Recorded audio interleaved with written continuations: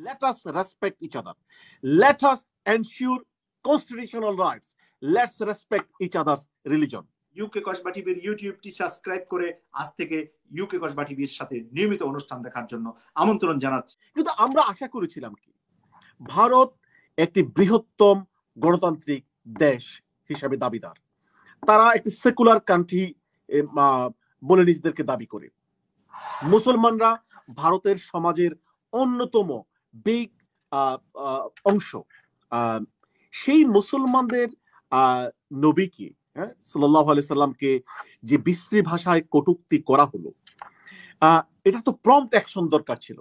এবং এই নিপুণ শর্মার্থীদেরকে যদি বিচারের আওতায় আনা হতো সিভিল সোসাইটি মিডিয়া এবং ইন্টারন্যাশনাল কমিউনিটি তারা যদি সত্যিকার অর্থে ভারতের তথাকথিত হিন্দুত্ব উগ্র হিন্দু জাতীয়তা, জাতীয়তার বিরুদ্ধে যদি শক্তিশালী অবস্থান ভারতের সরকার, মিডিয়া, সিভিল সোসাইটি নিত, ইন্টারন্যাশনাল কমিউনিটি নিতেন, তাহলে কিন্তু আজকে নিপুণ সম্মাদের শর্মাদের এইভাবে দৌরাত্ম বাড়ত না। যদি নিপুণ শর্মাদেরকে বাড়তে দেওয়া হয়, তাদেরকে যদি আইনের আওতা না দেওয়া, আনা হয়, আন্তর্জাতিক কমিউনিটি যদি তাদের বিরুদ্ধে শক্ত অবস্থানে না যায় নেইবারিং কান্ট্রিগুলোর কিন্তু একটা বড় দায়িত্ব রয়েছে। আমরা যারা বাংলাদেশের নাগরিক, আমাদের দায়িত্ব রয়েছে। আমাদের সরকার এখন পর্যন্ত কোনো মুখ খোলে নাই। তাদেরও কিন্তু একটি দায়িত্ব রয়েছে। ইটস এ গ্লোবাল ভিলেজ এবং ভারত সার্কের মেম্বার ভারতের সবচেয়ে ক্লোজ কান্ট্রি আমরা। ভারতে মুসলমানদেরকে অপমান করা হলে, নির্যাতন করা হলে এইটার ইফেক্ট কিন্তু বাংলাদেশে আছে। বাংলাদেশের সরকারকে বলব, যারা এই প্রোগ্রামটি শুনছেন, আপনারা কি বুঝছেন আপনারা, আপনাদেরকে এই জিনিসটি বুঝতে অসুবিধা হচ্ছে যে ভারতে মুসলমানরা নির্যাতিত হলে, ভারতে ইসলাম অপমানিত হলে, রাসুল অপমানিত হলে এদেশে মুসলমানরা ক্ষুব্ধ হবে। এটার প্রতিক্রিয়া বাংলাদেশে হবে। বাংলাদেশ সরকার এই মুহূর্তে তারা দায়িত্বশীল আচরণ কেন করছে না? বাংলাদেশ সরকার তাদের সঠিক ভূমিকাটি কেন পালন করছে না? তারা যদি আজকে সঠিক কথাটি বলতে ব্যর্থ হয়, সঠিক দায়িত্বটি পালন করতে ব্যর্থ হয় তাহলে এই এই মানে এই সামগ্রিকভাবে এই এই এলাকাগুলোতে, এই সার্কের এরিয়াতে মানে একটি অসন্তোষ সৃষ্টি হবে এবং একটি দুঃখজনক পরিস্থিতি সৃষ্টি হতে পারে।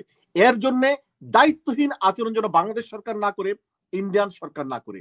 আমি চাই বাংলাদেশ, ইন্ডিয়া সার্কের মেম্বাররা এবং ইন্টারন্যাশনাল কমিউনিটি ভারতের civil society international civil society ভারতের মিডিয়া ইন্টারন্যাশনাল মিডিয়া সত্যিকার অর্থে ভারতের উগ্র হিন্দু জাতীয়তাবাদের বিরুদ্ধে শক্তভাবে অবস্থান নিক।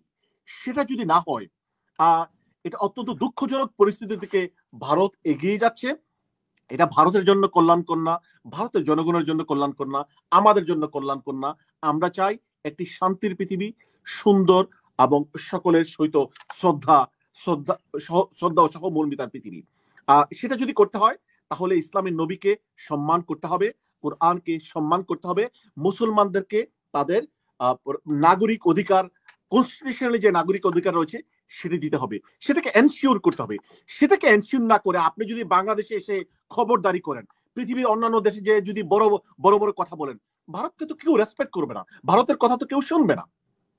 আজকে ভারতকে যদি তার সম্মানের জায়গা পেতে হয়, ভারতে যদি ভারত যদি ইন্টারন্যাশনাল কমিউনিটির সাথে এঙ্গেজ হতে হয় প্রপারলি আমরা চাই না ভারতের পণ্য বর্জন করা হোক, কিন্তু ভারতের পণ্য বর্জন হবে ন্যাচারালি ভারত অর্থনৈতিকভাবে খুবই খারাপ অবস্থার দিকে চলে যাবে ন্যাচারালি ইন্টারন্যাশনাল ডিপ্লোমেসিতে ভারত খারাপ অবস্থায় চলে যাবে ন্যাচারালি এবং জাতিসংঘে ভারত একটি দুঃখজনক মানে মানে কর্নার হয়ে যাবে পজিশনে চলে যাবে। তাদের প্রতি নিন্দা প্রস্তাব বেড়ে যাবে দিন দিন।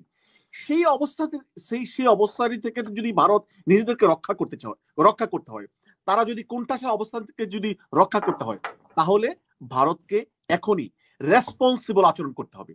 পরিশেষে আমি রিকোয়েস্ট করব ভারতীয় অথরিটিকে বাংলাদেশি অথরিটিকে ভারতীয় সিভিল সোসাইটিকে ভারতীয় মিডিয়াকে এবং ইন্টারন্যাশনাল কমিউনিটি এজ ওয়েল যে let us respect each other let us ensure constitutional rights let's respect each other's religion uh, to have a peaceful world thank you very much